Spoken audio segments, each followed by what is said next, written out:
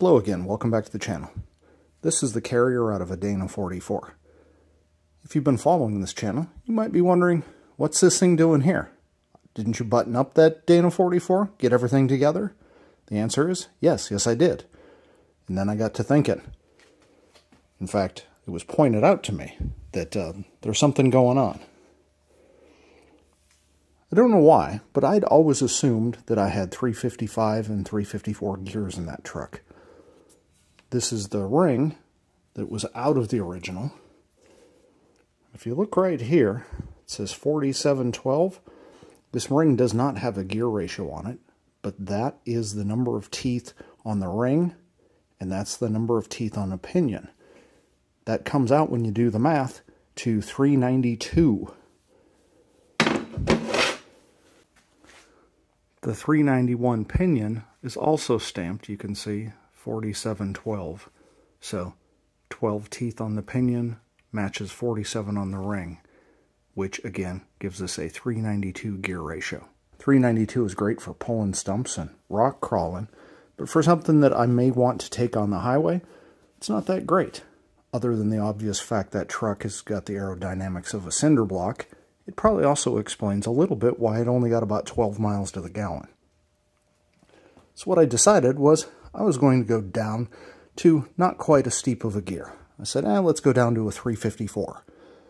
So I bought a 354 ring and pinion, put the pinion into the housing, checked the uh, bearing preload, got all of that working, tried to drop this down in, and it didn't fit. It just, the teeth on the ring gear and the teeth on the pinion hit before the bearing sat down in the saddle. So I pulled the bearings off, took some shims out, tried it again. Still wouldn't fit. Took the bearings off, took all the shims out, put it back in. Still doesn't fit. Now, if you know anything about Dana 44s, or at least more than I knew at the time, you're probably laughing to yourself. There are two carriers for these. If you've got a gear ratio that is, I think it's 372, it's 370 something as the cutoff. That or below, it takes one carrier, and then above that takes a different. So 391s take one carrier, and a 355 take a different carrier completely. So unfortunately for me, but I guess good for content, the original plan was to not take side gears and spider gears and disassemble the carrier, but now I don't really have any option. I've got to do it because I have to change to a different carrier. I did buy another one. You can already see here that this one sits a little bit higher than this. Once I get this one completely taken apart, we'll take a look at the two and be able to see. But what I have to do is I have to take the bearings off of this yet again, and then I need to take the ring gear, get it swapped over. Then I need to take uh, the spider gears and side gears out of in here and install them in here. Just taking a quick look at the differences between them, something that maybe you'd be able to tell in the vehicle, what I'm noticing is this depression right here. It's maybe a quarter inch on these, maybe only an eighth of an inch where it goes down. And on this one, it goes down quite a bit. There's at least a half inch drop off in there. So I think that if you were just looking at one of these with the cover off, that'd be the easiest way to tell the difference. But again, I'm going to pull the bearings off, get everything out, and then we can take a look at the carrier side by side. It looks like the primary difference is the distance from right here, where that ring gear face uh, bolts on, to here is uh, longer than it is on this one, which pushes the ring gear further away from the pinion, which gives you the room to actually install it, which I didn't have. First up, I'm pulling the bearings and shims off of the old carrier. I've got a special tool for doing that. I've got a video that goes into more detail on how that works. I'll put a link up here. Alright, I've pulled the bearings and the ring gear off of these. If you take a look, my first guess was that this opening might be different between the two, but I don't think it is. It looks like it's about 2 and 3 eighths there, and about 2 and 3 eighths there as well. So that's not an easy way to tell.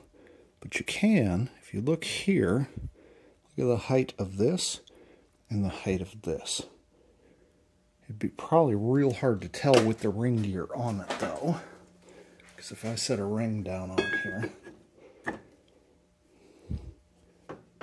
it comes up past the inside of that ring gear, but that's really difficult to tell.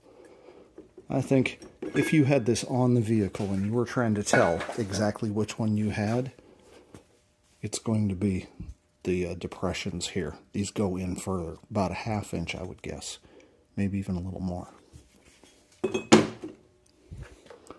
Obviously, if you can tell what the gear ratio is, that'll also tell you, but, you know, always nice to have a couple of different options.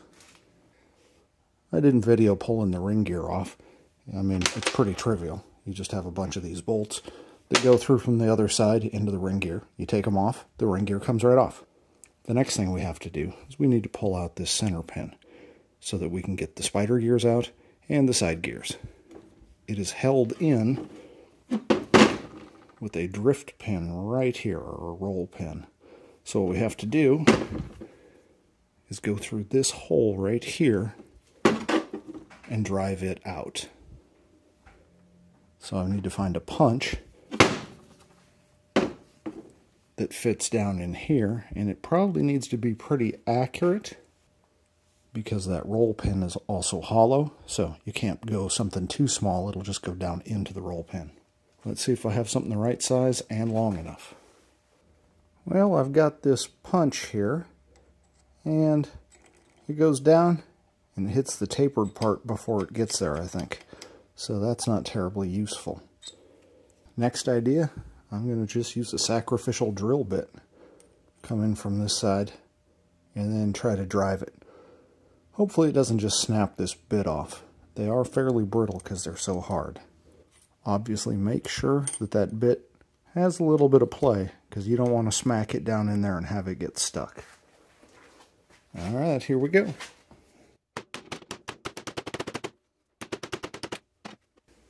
Can see it's driving that pin out actually coming out real easily.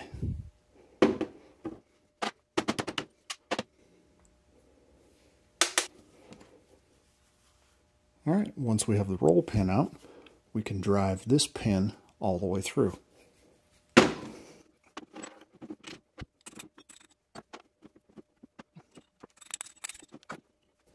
That comes out.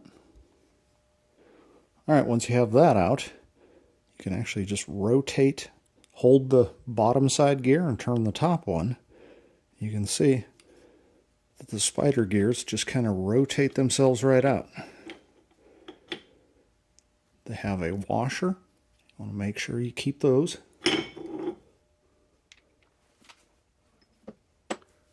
And then the side gears just come right out. Notice side gears also have thrust washers in there.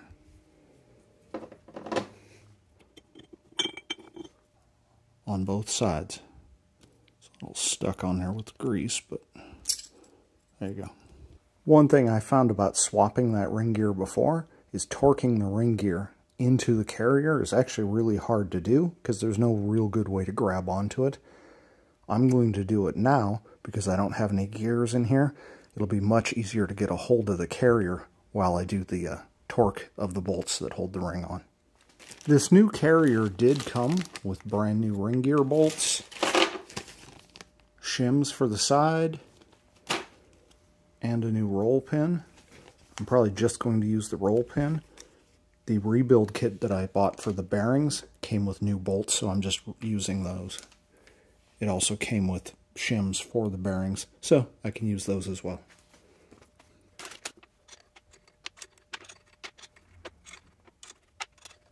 I had already lubricated all those bolts.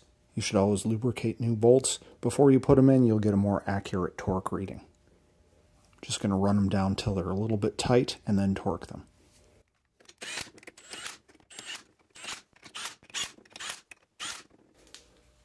Torque these to 55 pounds.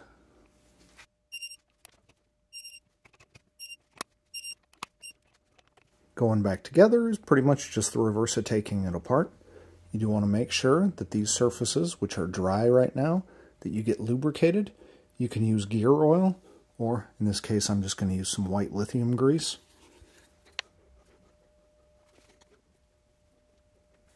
We take one of the side gears, drop it into the bottom. Make sure it spins freely. Um, put the top one in. Again, before you put these in, verify that you have this shim in there, this thrust washer, and that it's lubricated on both sides of that washer. Before I put this in, I'm going to make sure I have my spider gears clean and ready to go.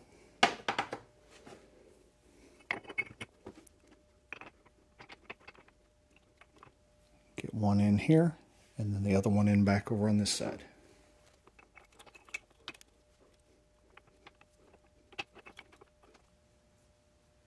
And then you can just kind of walk them around using both gears to get it in.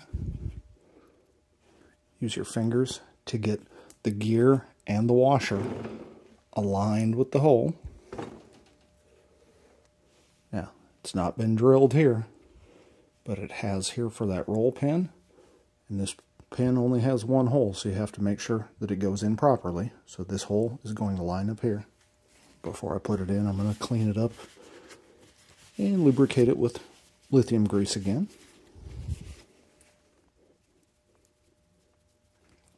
all you're trying to do is get a film on it so that it has lubrication until the gear oil gets down into everything. So you don't need a whole bunch, but you want it to be nice and slippery. Oh, me. You can't get this in while the ring gear is on. So I guess we'll pull the ring gear back off.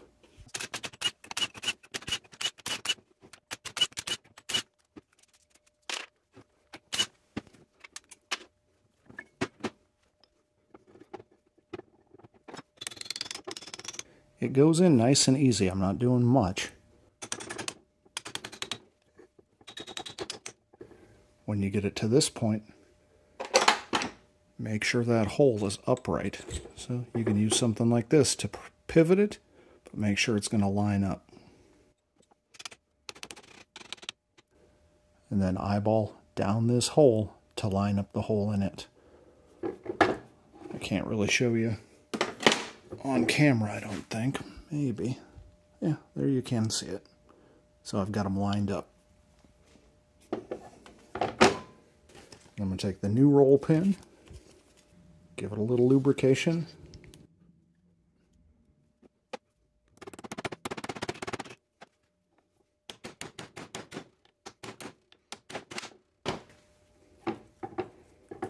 Make sure everything still spins. And now back on with the ring gear. Alright, next up is shims. Honestly, I have no idea what size to put in since I've changed the carrier, I've changed the ring, I've changed the pinion. I think it's probably just a crapshoot. Maybe guys that have done this a lot have a good idea on how to do that. Go ahead and put something down in the comments below if you know a good way to do this. Otherwise, I'm just going to slap a couple of shims on each side, put it together, and do some measurement and then go from that uh, go from that point.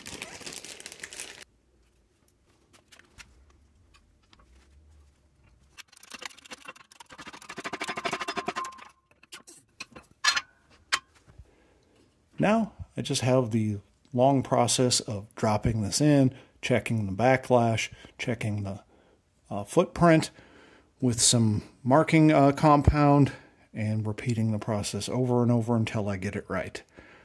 I guess on the plus side, I gotta show you this. Last time I didn't get video of me checking the lash here, but this time I've got it set up. So, I've got the dial indicator up against a tooth here. I'll show you from the top here in a little bit. But really what we're trying to do is we move the gear back and forth. So it looks like it's at 90 there. And it comes up past, so at about 15 thousandths, maybe 16 thousandths. That's the lash right there. That's supposed to be between 4 and 9 thousandths. So the backlash is too big. Come up and take a look. This is how it's set up. And so we're moving forward and back more than 9 thousandths. So what has to happen is this needs to move this direction to mesh closer with that pinion down there. So what that means is I need to remove shims from right here and I could probably move them over to this side. Right now, I don't actually know, you know, what the uh, pattern is going to look like. So I don't know if I just need to move them or if I need to simply remove them. That's the fun here. So I'm going to take this off, take some shims out to move it over and leave this side like it is to try to get that backlash a little bit better. I added about 14 thousandths worth of shims here and removed the same from over here. So what that's done is that's moved this this direction and now the backlash is actually already measured it. It's at about 4 thousandths. So that looks really good. But now the problem is the next thing you need to make sure of is that there's bearing preload. So these bearings need to be loaded, needs to be squeezed in. Otherwise, the whole ring assembly will wobble uh, when it's being driven. It's not something that you can see, but there needs to be preload, so it actually needs to be squeezed. And I can tell that this one isn't right because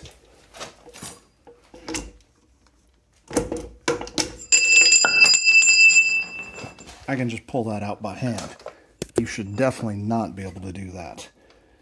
You should require a bar to pull it out and, you know, a few taps with a dead blow hammer to get it in.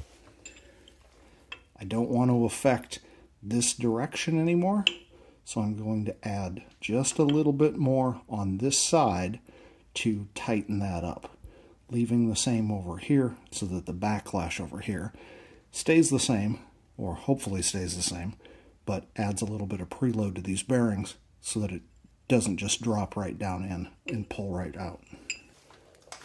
This is much better. The last time I just set it in and it dropped straight down in. Now, it doesn't doesn't clear the case and it doesn't really want to go down in here very badly either.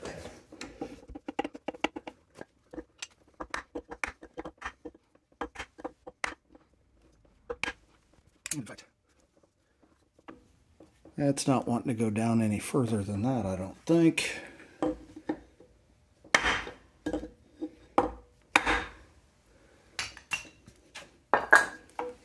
So now it doesn't want to go any further, and there's at least a mm, probably half inch, somewhere around there, three eighths of an inch between this race and the saddle. So it doesn't want to go any further. So the bearing preload is too uh, big. I put in 10 thousandths over here. I've got to take it apart, take that off, and go down to say 5 thousandths and try it again. In the end, I had to pull the carrier out six times. I think I did bearing swaps about nine. I can't re really remember, but I got it all set up. Backlash right now is at about five to six thousandths. It's got good uh, bearing preload. Everything is ready to go. So I can cover this back up, reassemble both ends, and get this hung underneath the frame. That's all there is for today. Thanks for watching.